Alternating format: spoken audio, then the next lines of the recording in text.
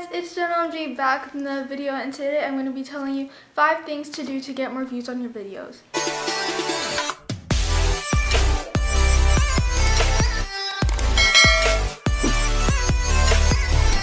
If you're new to the channel, welcome. My name is Jen. I post videos Monday, Wednesday, and Friday if I don't get caught up in other things. And they are very helpful or fun videos, so you should definitely go ahead and click that red button and subscribe.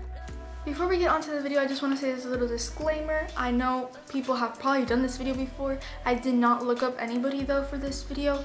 I just kind of like got it in my head, you know? I was like, let me just do this video. I know like billions of people have probably done it. If you want to do it and you have been inspired by me to do it, please give some credits in your description because I'll start doing that whenever I do a video that's inspired by somebody else. I haven't done it yet because I didn't really think about it. But this one, I just kind of thought out on my own. Like, I know it already exists, so don't hate on me. Like, I know it does. Like, credits to that person. But I don't know who made it.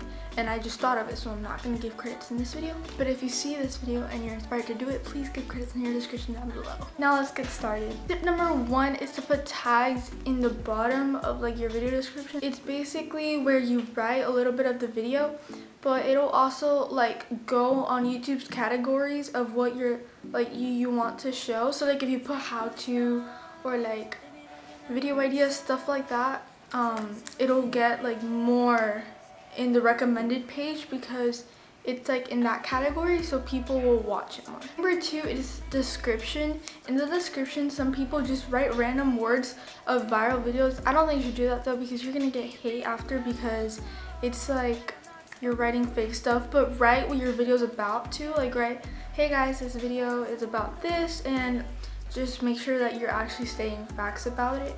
Don't just write anything random. That'll also be like the tags, but you just get double the amount of a chance to get more recommended on YouTube, so do both of them. Number three is your title. Your title really matters in this because sometimes people search something in specific and if you write something random, nobody's gonna see it because it's something random that nobody's ever gonna see. And I recommend not putting emojis on your title because mostly people will never look up emojis unless they're like doing something random, you know, because that doesn't really make any sense. So just write something like write uh, the first letter of every single word capitalized and that'll get you better views. Number four is a thumbnail. A thumbnail is really important because that's like basically what's gonna get the viewer to click.